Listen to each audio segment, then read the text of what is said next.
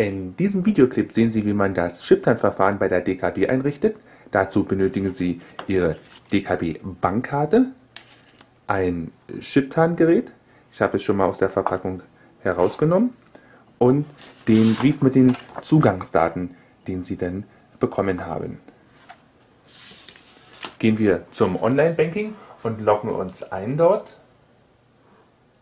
Der Anmeldename ist der Name, den Sie hier bei Legitimations-ID finden. Und zwar Ihre Kontonummer und dann ist es hier kein Leerzeichen, sondern ein Unterstrich CC für Chiptan.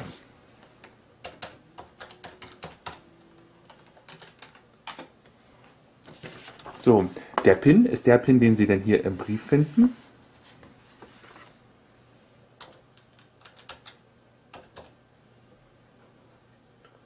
Und dann auf Anmelden klicken. Es öffnet die Seite, wo der Chiptan-Generator eingerichtet wird. Es sind fünf Punkte zu folgen, die gehen wir jetzt gemeinsam durch. Bitte führen Sie die Karte in den TAN-Generator ein. Da ist davor noch den, den Schnipsel hier rauszuziehen, der bisher die Batterie geschont hat. Und die Karte wird hier unten eingeführt. Nehmen wir die, die Karte und führen die so in das Chiptan-Gerät ein. Dann heißt es, halten Sie die TAN-Taste gedrückt, bis im Display ATC-Anzeige aktiviert wird. So, die TAN-Taste.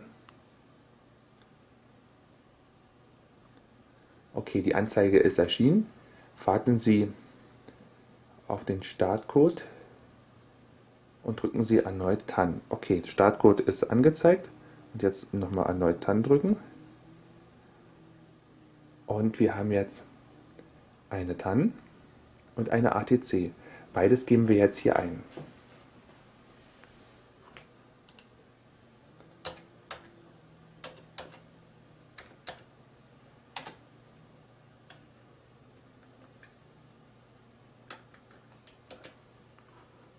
Und klicken auf Weiter. So, jetzt kommt der Hinweis, bitte locken Sie sich neu ein. Das tun wir auch. Da klicken wir einfach hier auf Anmelden und geben nochmal unsere, unsere Anmeldename, also wie von dem Brief der Legitimations-ID ein, die Kontonummer und dann der Unterstrich und C für Chiptank und die PIN auch wieder vom Brief. So, und nun ist es nämlich soweit, dass eine neue PIN festgelegt werden muss. Dazu wird zuerst die bisher gültige eingegeben, also die vom Brief.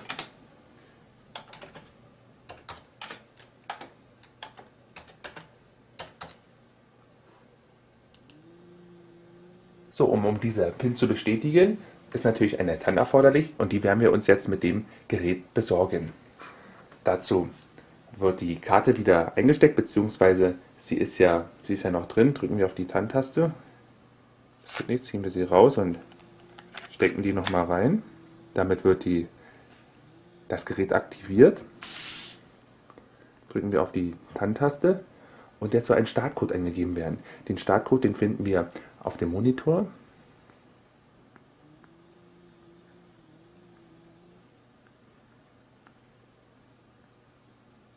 Der Startcode ist eingegeben und dann die Taste OK. So, jetzt ist die, die TAN auf dem Display, die gebe ich jetzt ein.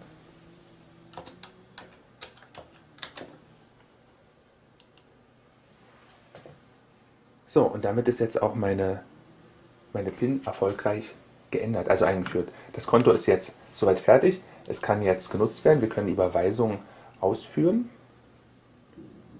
und dann mit, dieser, mit diesem Gerät bestätigen.